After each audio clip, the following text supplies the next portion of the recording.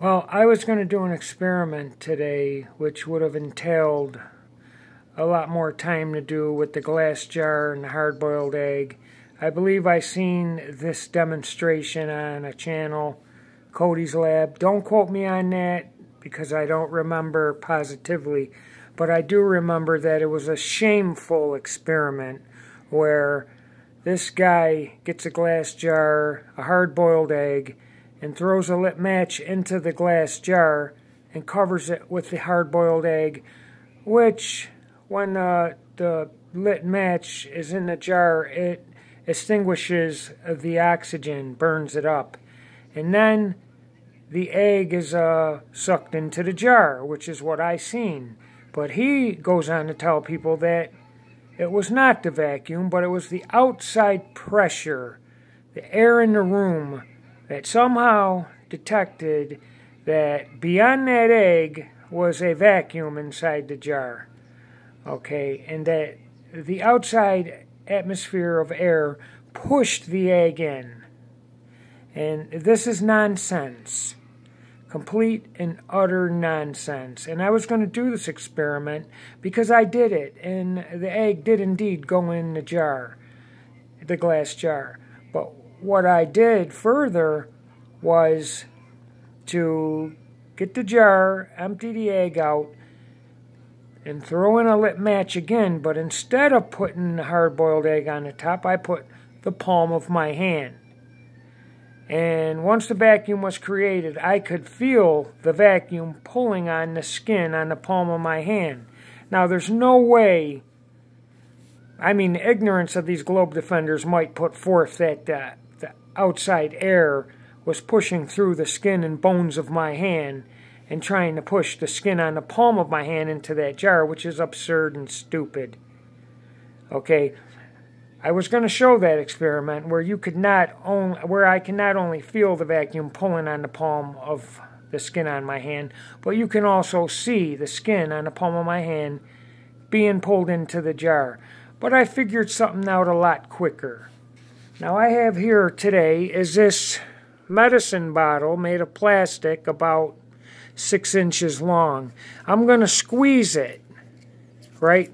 I'm going to squeeze it to expel the air and I'm going to stick it to my leg, okay? Do you see do you see that? That is sticking to my leg because of the vacuum inside. There's no air pressure pushing through the skin or bones of my leg to push my skin inside that plastic medicine bottle. Now, it's not, I didn't create too much of a vacuum, but you might be able to hear the pop. Okay, you didn't. Let's do it again.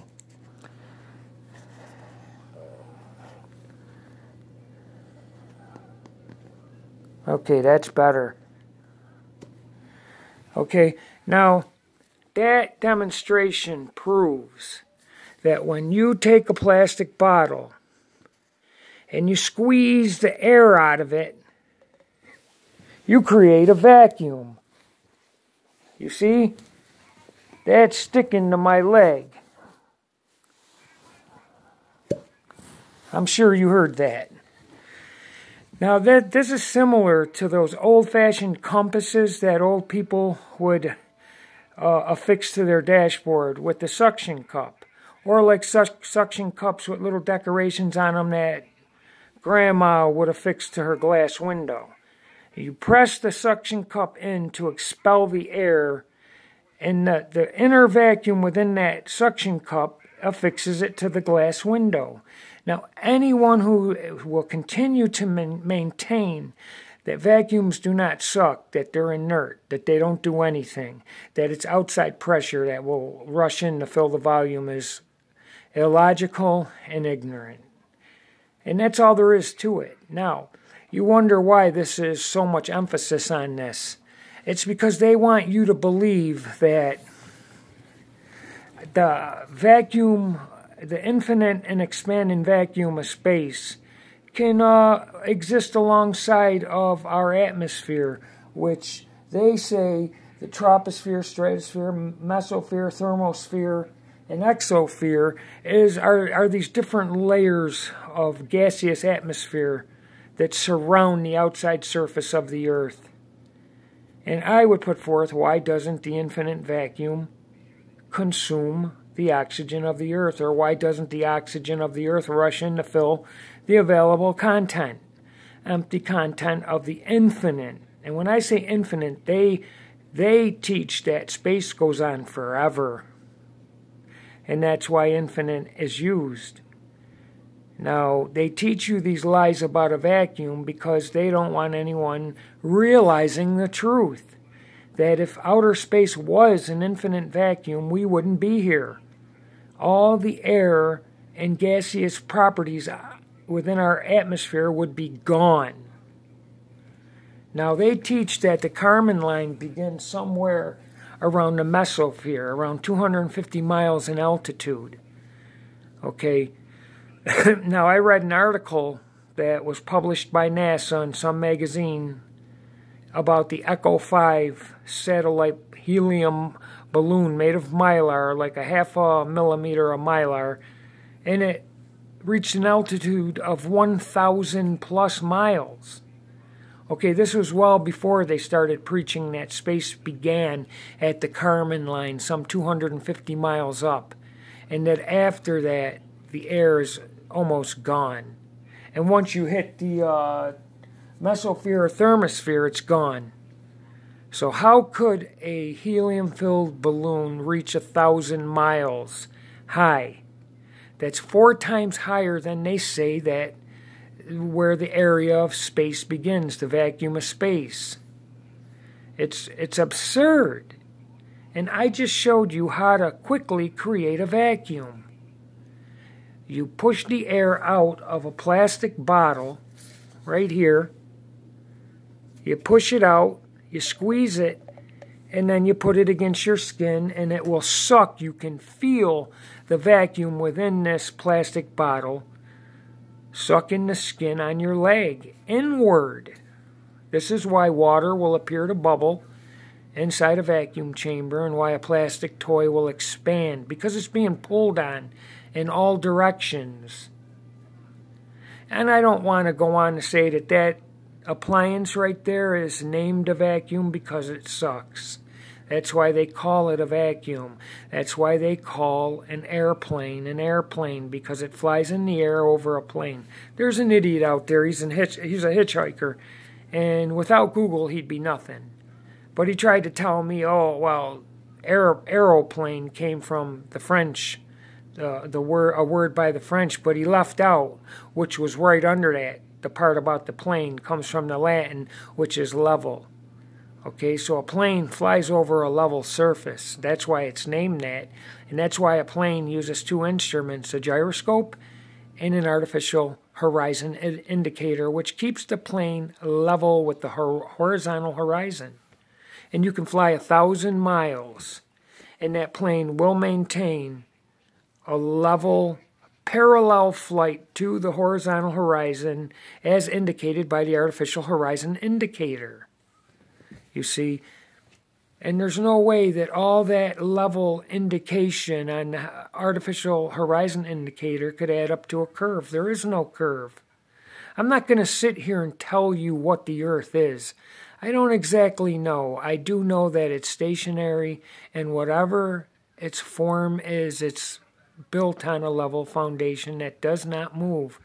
I know for a fact we do not live on the outside surface of a giant ball within an infinite vacuum.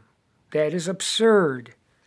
If that were true, we would not be here because the air would be gone. It would be in the vacuum of space. Okay? So if you look into it, you can you will at least find that what you thought where globe facts are not facts, they're theories, and they're theories that are taught as fact. And I was astounded by all the things I thought were actual proven facts. And they're not. The, the Foucault's pendulum does not prove that the earth is moving. They don't tell you that these pendulums have magnets installed directly over them and that they have to be started 99% of the time by a human pushing it. And they operate in opposite directions and with two of these things in the, the uh, same vicinity. They stop all the time. If the earth if I've seen some video of a like a hundred foot crane with a big wrecking ball hanging from it. Okay, and they filmed it for 20 minutes and the thing never moved. So it's illogical for that not to move, but then they use Foucault's pendulum with a, magnum a magnet installed directly overhead. That's how they keep it moving. And it does not prove anything. Einstein the, the, he's a guy, he's a plagiarist that these globe defenders, they worship this man as a genius. But he is, was quoted as saying, There is no optical experiment that can prove the earth is moving. And Foucault's pendulum was around in his day, and it is an optical event. It's something you can look at. So, and the fluid dynamics prove that water in mass, i.e., large waters, but large bodies of water always seek and maintain their level.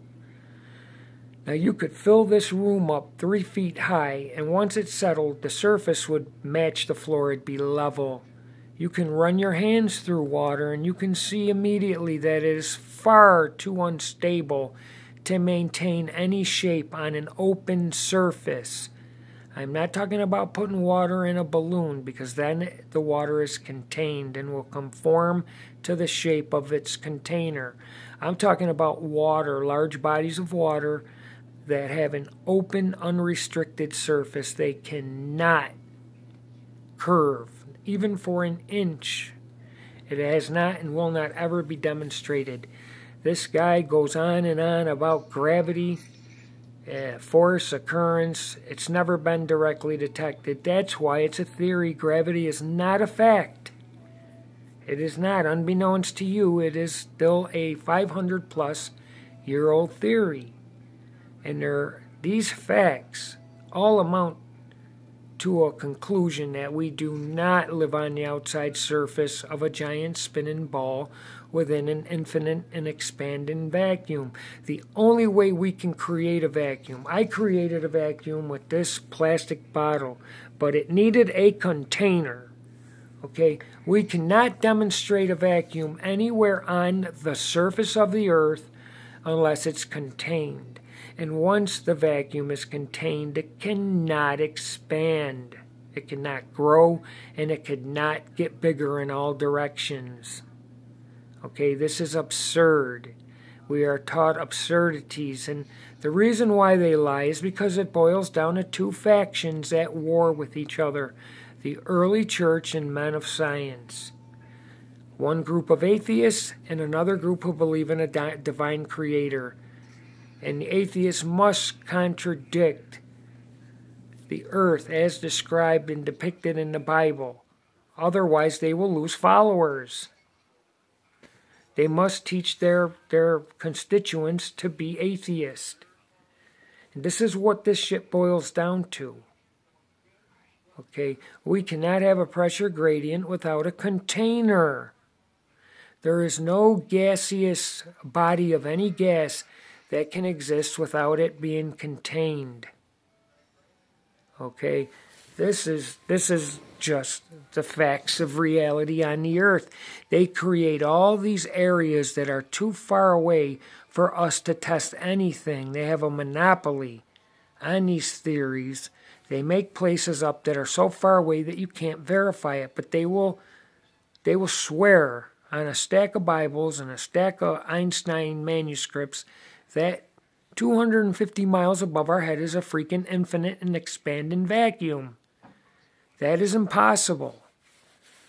Okay, and that's why they teach lies about vacuums. Vacuums do suck, and you can create a vacuum right in your house very easily. You don't need a glass jar with a lit match and a hard boiled egg to do it.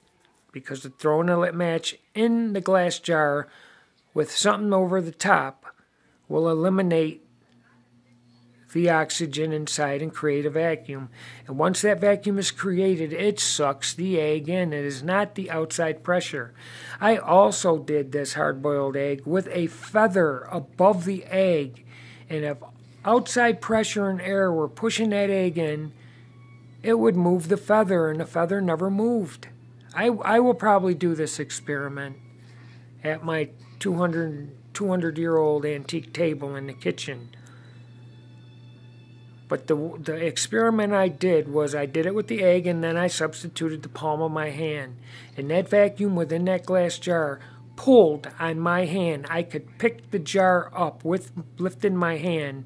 And the suction inside that glass jar kept that glass jar affixed to the palm of my hand, to the skin. And you could see, I could see the skin on the palm of my hand going inside that jar because it was being pulled in. Do I need to show you again? I will. Here we go. This is a plastic bottle opening. I'm going to discharge and press out the air. And now it's the vacuum is sucking on the skin on my leg and keeping it affixed there. The outside pressure has nothing to do with it. Let's do it again so a bigger pop.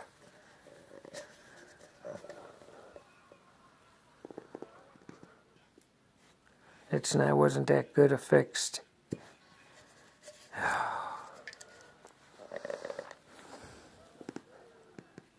This one is good, better. That that was accomplished by me creating a vacuum in that plastic bottle by squeezing the air out. And that's it. That's all there is to it.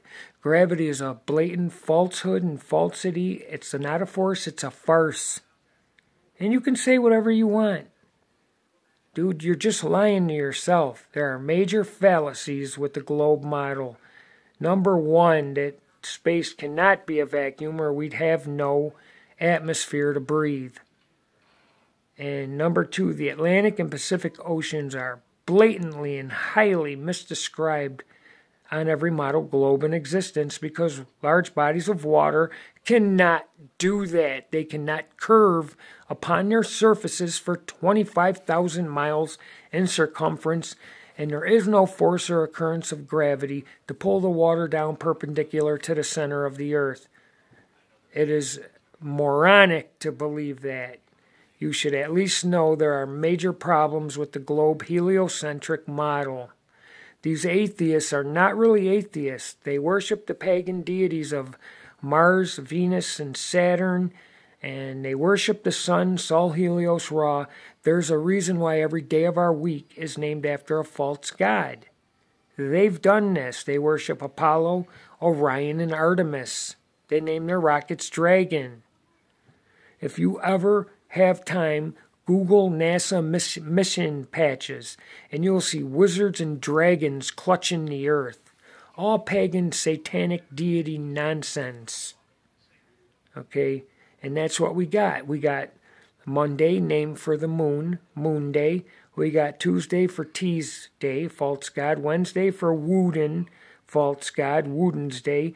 Thursday is named after the false god Thor, Thursday. Friday is the false god Frigg. Saturday is the false god Saturn, Saturn Day. And Sunday is their most important day, the sun, for Sol Helios Ra. That's why they took the earth out of the center of cosmology, which has been that way way longer than the Copernican nonsense they say was introduced 500 years ago.